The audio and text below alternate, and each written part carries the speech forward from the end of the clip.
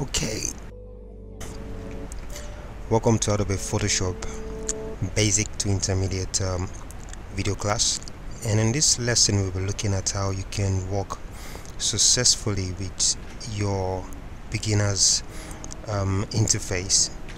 And once if you have um, Photoshop installed and you have your icon um, saved on the Docker or your desktop you can go ahead and click for me I have, I have worked um, so so I've worked on so many projects I have this on ground already. But if you're new if you're just using Adobe Photoshop you should have something like this first. This tab will come up first. So but first of all what we have you to focus on um, is um, your functions here on the right hand side so you will want to change your title to something maybe project one. And you will go ahead to uh, as well change your width. And to go ahead to change your width and um, height as well so you also have your dimension uh, preset down here where we have pixels inches centimeters millimeters points pixels. So, but majorly we'll be focusing on pixels in inches because those are the major most used um, dimensions. So for the pixels the more you have your numbers the higher the boxes because most of our screens most of our images and screens and digitals are made up of tiny boxes of pixels. Majorly even your screen that you're looking at the pictures in your screens they are made up of thousands of um, pixel boxes. So the higher your number the clearer or more crispy your images will look. And the lesser it is the lesser um, your image will look so I know you've you you've heard of um, 2 megapixels camera back then. So you you can imagine what 2 megapixel camera would be. So very low um, images you do have then. But now we have as high as um, um, 16 megapixel cameras 34 and so on. So the more the pixels um, the more clearer or more crispy your image will be. So for for pixels um, you would as well want to look at um, your orientation. Your, your width and your height determines your orientation. So by default once you insert your width and your height Photoshop um, will will uh, adapt your dimension. You can as well change um, the orientation manually. So you can click and it will highlight um, whichever the orientation you want to choose. So here we have the portrait and here we have the landscape. Okay so for the resolution we are still on uh, pixels and note as well. Pixels are majorly used when you want to design for screen and digital not for print. So if you're designing um, a project for print for sorry for for screen and and digital you definitely want to um, use pixel and also your your resolution should vary from 72 to 200 now why 72 why 100 you would want to have a very low file if you are designing for website if you're a website designer because we all know that um, for your website to um, load as quick as possible you need very low low low res images which has no uh, eye sizes and if you're designing for maybe Facebook social media platforms or just for screen display any any other thing pertaining to digital you should stick to 200 okay so um, and also still maintain your pixels per inch. Now for for the screen um, display designs. So for the color mode you still want to maintain your RGB under your color mode we have different color modes. But basically you want to um, stick to RGB which is red green uh, and blue color. So you don't use RGB um, color mode for, for, for print. You stick um, to CMYK but for now we're focusing on um, RGB which is for what do you call it now? Which is for um, screen digital display. So for 8-bit you want to remain at 8-bit um, or if you feel you want to have more colors you can increase to 16 or 30 so but have it in mind your file will become larger but the colors will come out well. You can still stick to white background because definitely you want to work with uh, work with other backgrounds. For the advanced options I would advise for now don't um, adjust. Leave the default settings. Okay so let's now go back to a dimension preset. So for print you would want to go for inches centimeters or millimeters depending on the measurement you are given to work with. So now if you see you need to also change this to fit into your design project. So it's also still affect your orientation as well. So if you insert let's say 16 by 23 which is literally your A2 size measurement. So if you notice the orientation changed so I can still even change the orientation if I want. Now for your resolution you should stick around 300 and above because you're going to print and it's going to come out in large format. And you want it as crispy as possible. So um, you should stick around 300 and 600 if you print it for billboard you would want to go somewhere around 400 but I think there are some printers whom uh, can adapt your design to large format printing even when you save at 300 and your work will still come out clean. Now for the color mode you would want to use CMYK now remember we're talking about printing here. So your CMYK stands for cyan magenta yellow and black. So um, so these are the two major color modes you will basically want to work with um, RGB and and um, CMYK CMYK for print and RGB for screen. So now except if you are working on picture editing and you want to edit on um, uh, what do you call it now black and white you can go for grayscale. And if you are working um, on a raw picture and you want to go through the lab you have to go for lab, lab color sorry. Okay and for that you might want to also go as a assistant bit. You can still leave your background at white. Okay so let's move to this left side of um, the opening tab. So you would also see that I have recent works I've works I've done recently. So so this where your recent works will be. And your saved or preset um, dimensions. This is where it will be. Okay let me show you how. So for this project if I want to save this all um, details all these dimension and details I would have to just um, come to this icon here and click save document preset. So I will save maybe let's say A2 printing. A2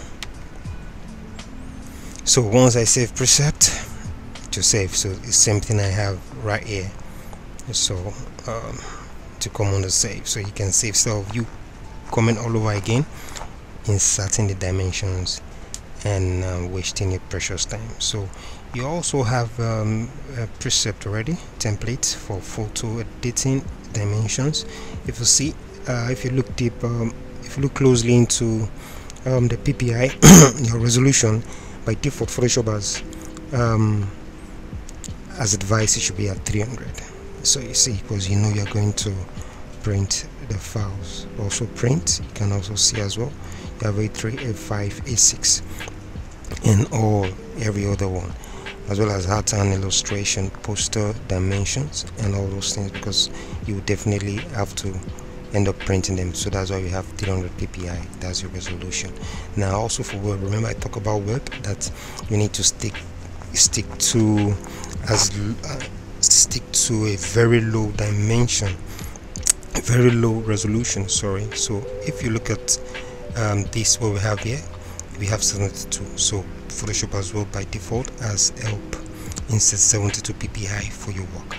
So mobile you can as well find template to work with so you can find different um, dimensions for different font size film as well um, for video edit for frames for for videos you can as well see different dimensions and their resolution.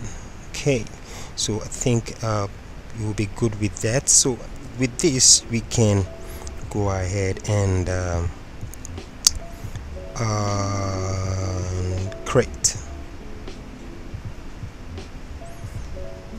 okay here we have it so like I said earlier what we'll be looking at in this lesson is just looking at um, um, our preferences how we can customize our preferences. We might not be looking through all but we'll just take you through the major ones that you will need um, to adjust to fit your work. Then we'll come back to look at all these tools that we have. So let's quickly look at our preferences. For those using um, Windows your preference to be under should be under your files. So from your preference you go to your general. So but for Mac users for Mac users like me so I have my preference here and I go to my general. So under my general these are my settings. So I can customize to fit into what I want. So like this for example once my job is done I want it to have a beep. So yes I need it. So I, I checked it. So you can check through yours and see um, whichever one that you feel you need to check and uncheck. And for your interface appearance you would want to also change to color that fits your view. So you can either change to white a little bit of gray a dark shade of gray then darker shade so you can as well look around and see what you can change. Okay also I think this um, you might just want to leave. Also um, also this you might just want to look around and see how you want your tools to function. And history lag um, this you might not want to really want to handle. So you have um, file handling as well then this is actually important. So you want to uh, save your files at every moment or at every opening you you have. So you want to say always save save as save as to original folder save in background. So you will not lose uh, your file so you can look at every other things here you can as well save if you want to. Um, check. Okay you also have this. This is also important. Quick export location. Ask where to export each time. Definitely you want our advice you click on this. You check this up. Because sometimes you might save a file and you might don't and you you you you might not know where exactly you save the file. So your performance is also really really important. I would advise you increase if you have it at um, at at this position I would advise you move the feather up to the full so you have more size to work with. And I also advise to check the use graphics processor because it's um, help you to use some effect effectively. Okay history states as well I advise increase you increase to the highest. You also this advice you also increase. Okay your scratch disks this is also important. This is where your this is where you determine if you can continue to work or not. Because once your disks is full um, you will not be able to do um, your project. So it's advisable to check if you have two or one or three you can check all of them. So this is not really much important but you can look through and do what you want to do with that. So we have transparency. Gamut is not much important as well. You can look and see what uh, and you can um, change but Photoshop has done the default settings which I think is work is working fine. Also these here yeah units and rulers. I think this should also take note of especially this point. If you remember we talk about our resolution for print and resolution for screen so by default you can also change your default setting here that every of your print um, design will be 300 and um, um, every of your screen design should be 200 so you can change your setting. So you can look things around and change. So this you can leave as default. As well this as well this this is very important. We all write from um, most of us write from um, from left to right we type from left to right and not right to uh, left unlike uh, the Asian um, um, countries the Asian countries.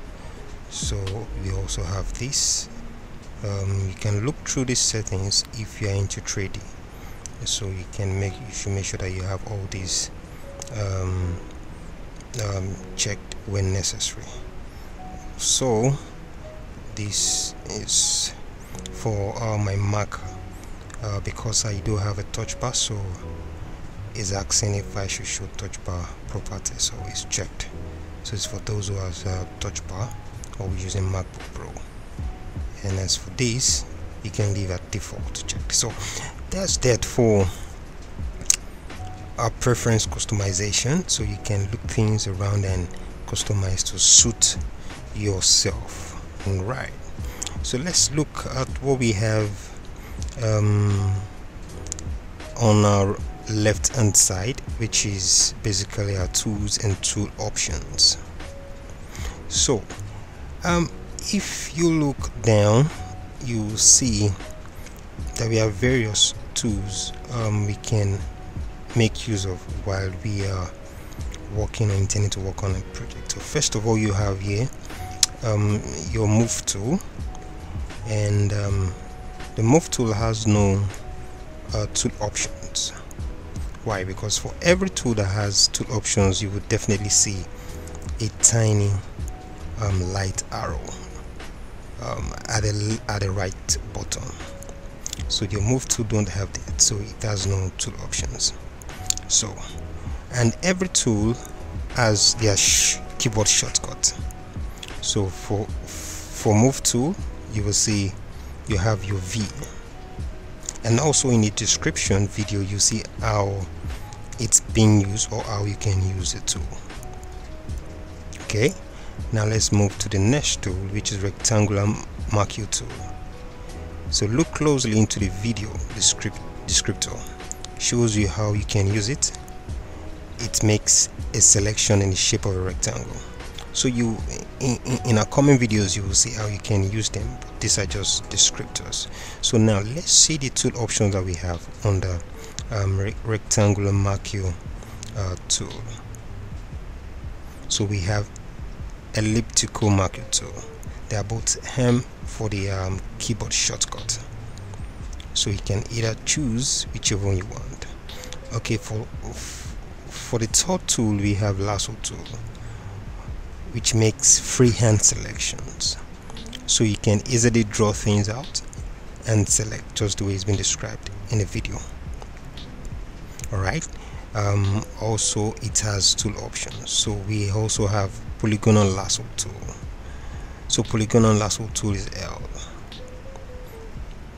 Create straight edged selections um, with the tool so let's see the fourth one. The fourth one says quick selection tool and the keyboard shortcut is W. And this makes a selection by finding and following the edges in an image. So you can quickly select image and cut out images from the background. Also we have um, the 3d Material Eyedropper tool. Um, I know basically um, this is for 3d modelers those who are into 3d those who have intention of creating 3d okay so this is brush tool which you will always always I will say always use. You can run away from this tool. It will be your favorite tool. Okay so it paints custom brush strokes. So for the keyboard shortcut the keyboard shortcut is B. So once you can click on B you will have it. You will have your tool so you can paint things out.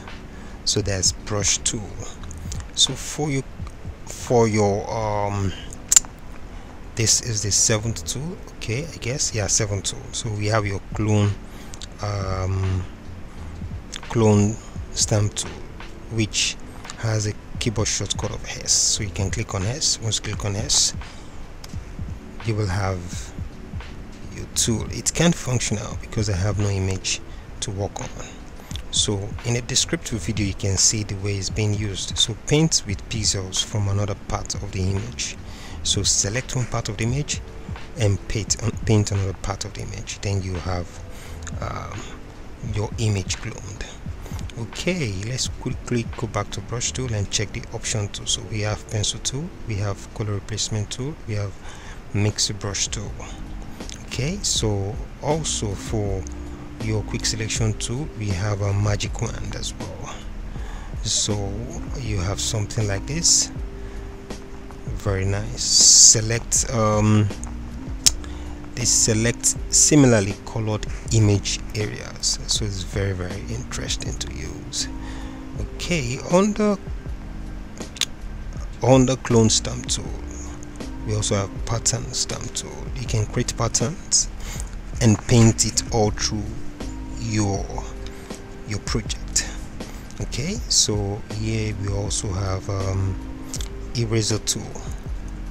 So you have E as the keyboard shortcut so the eraser tool changes pixels to the background color or makes them transparent. So basically it makes your image or some part of your image transparent just as it's been described in the video. Okay you also have 3d material drop tool. Uh, drops material loaded in the tool onto the target area of a 3d um, object for those who will be working with 3d okay this is another tool um, apart from a razor tool and brush tool that you will always constantly I say constantly um, use. Um, your horizontal uh, test tool. You can avoid it as horizontal type. So under this we still have some um, tool options which is vertical type tool from from up to below or from below to top. So the horizontal type tool is from your left to your right. So so the next tool is our pen tool and the shortcut um, keyboard is P. So makes and changes paths or shapes with anchor point and handles so you can easily draw paths or your shapes as you desire so you can see something like this. If I want to replicate what I have here so you can easily uh, make your drawing. It's actually stunning how you can make things come to life with these tools. So this is your pen tool with a keyboard shortcut of P. Okay so it has um, tool options as well. You have freeform pen tool your pen tool hard anchor point tool. So this this point these nodes they are called anchors anchor point. We also call them nodes so I can either add or delete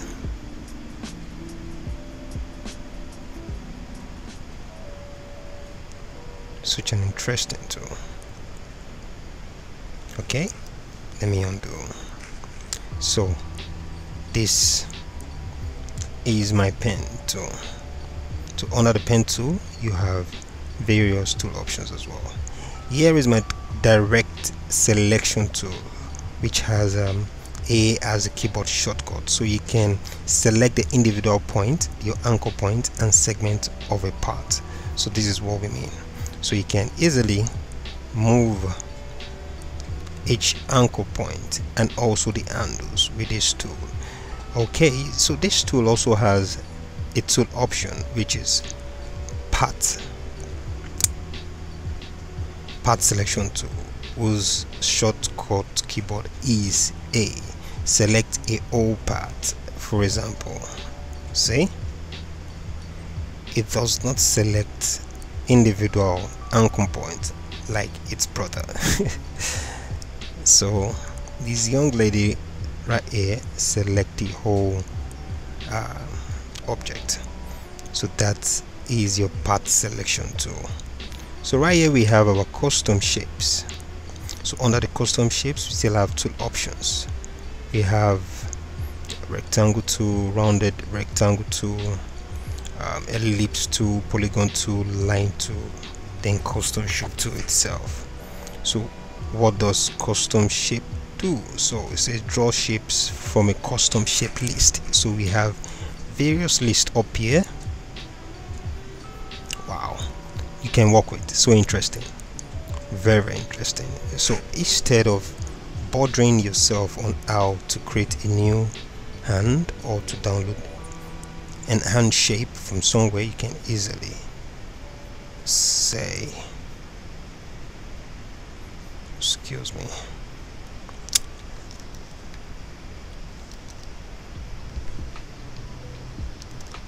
Okay can easily. Okay draw your end don't worry in, in in coming videos we'll be looking at changing colors and so but for now I just want us to see what those tools looks like. So you also have your um, rectangle tool. This allows you to draw rectangles just the way it's been described in the video. So also the rectangular tool draws round shade. Also a loops tool use it to draw sphere shapes. So these are interesting tools you would definitely use regularly. So you have your hand tool which has a, a keyboard shortcut of H. So pans over different parts of the of an image. So for example okay I can use that yeah is when you have your image or your work area zoomed in so this tool also has tool options. So we also have rotate view tool which I found so useful so interesting. So you can move your rotate your work area to suit your view. So this will um, avoid you from bending your neck or turning um, your eyes all around and and that could make you sick sometimes. So you also have the zoom tool right here. So magnifies or reduces reduces the view of an image. Okay so and the keyboard shortcut is Z. So right here we have more tools. In most photoshops we have these three dotted um, uh, lines these ellipses. So in it we have so many other various tools that are not on the list here so you can select any and see what works well uh, what uh, you can do with them. But I can assure you the major ones you need to work with are here. For all these that you have right here they are for effect for wonderful and glorious effect. They are very very useful. But they are not regularly being used as the way you will use these ones that already listed on the two bar. And a worthy of note is something um, I actually um, fought with while I was learning. So is um, for every of your tool you select right you have a property bar right on top of your work area. See? Don't forget that. So you can easily manipulate and adjust the properties whichever way you want. Right? So see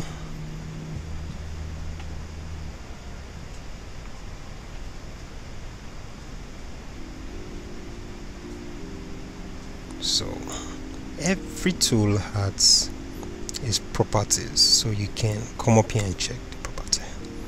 So I think for the tools we've been able to see what the tool options are as well and um, what they can do and all other various tools that we have. Now here we also have our um, foreground color and background color in further videos we'll be looking at the usefulness.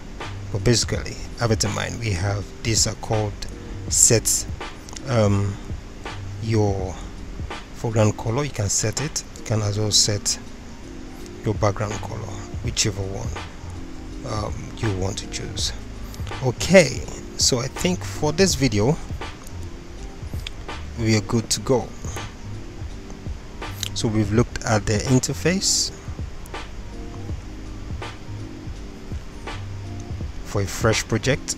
And we talked about your naming your width your height your orientation resolution color mode and the recent panel the saved panel the photo um, panel the print panel as well. We'll look at the template measurement that we have. So I think with this we can um, create your first project and naming it. Thanks for watching Bye for now.